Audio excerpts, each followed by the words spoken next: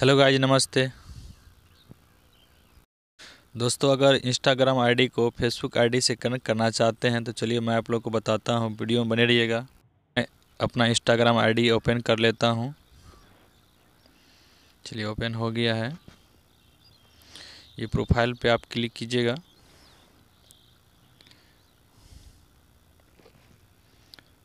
Profile पे click करने के बाद थ्री डॉट दिख रहा होगा, उस पर आप क्लिक कीजिएगा।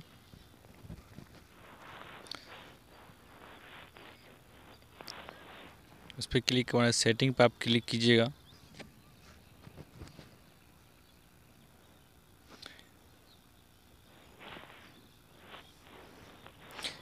सेटिंग क्लिक करने के बाद एक अकाउंट का ऑप्शन दिख रहा होगा, उस पर आप क्लिक कीजिएगा।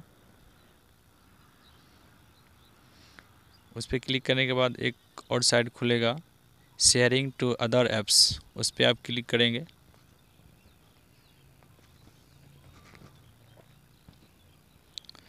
यहाँ फेसबुक दिख रहा होगा, उस पर आप क्लिक करेंगे।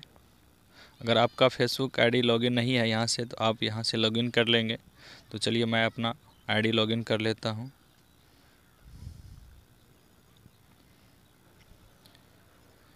ये गूगल अथोरेंटिक साइड है, इस पर ओ डालने के बाद ही खुलेगा।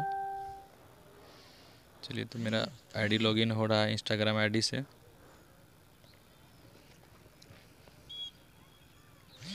अब यस या नो कर सकते हैं यहाँ पे आप। तो चलिए मैं फिर से इंस्टाग्राम आईडी को लॉगिन कर लेता हूँ। चलिए लॉगिन नहीं हुआ सॉरी दोस्त। तो मैं लॉगिन कर लेता हूँ। कुछ कोड डालना पड़ेगा वहाँ पे। मैं अपना डाल लेता हूँ। वो हर एक मिनट में वो अपना कोड बदलते रहता है। गूगल अथोरेंटिक साइड है। वो आप लोग को भी पता होगा। अगर चलाते होंगे फेसबुक आई तो डो नॉट से, सेव कर लीजिएगा।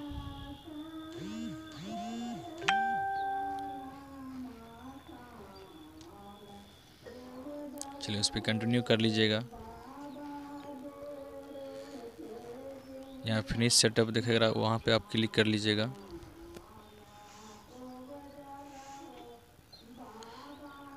चलिए देखिए, मेरा शेयरिंग टू फेसबुक फेसबुक हो गया है। कि मेरा वहाँ आईडी दिख रहा है वहाँ पे मेंशन हो गया। ये दोनों जो दिख रहा ऑप्शन उस पर आप ऑन कर लीजिए और इसको एलो कर लीजिएगा। तो तीनों ऑप्शन को एलो कर लीजिएगा।